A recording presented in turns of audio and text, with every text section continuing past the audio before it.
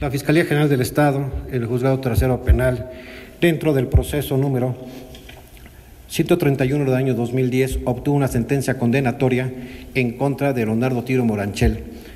por el delito de fraude genérico, el cual, eh, dictado por dicho juez, con una condena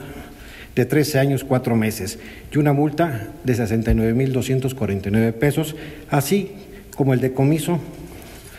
de 60 y, perdón, de 64 bienes inmuebles en favor de la reparación del daño de las víctimas de este delito dentro de este proceso penal. Muchas gracias.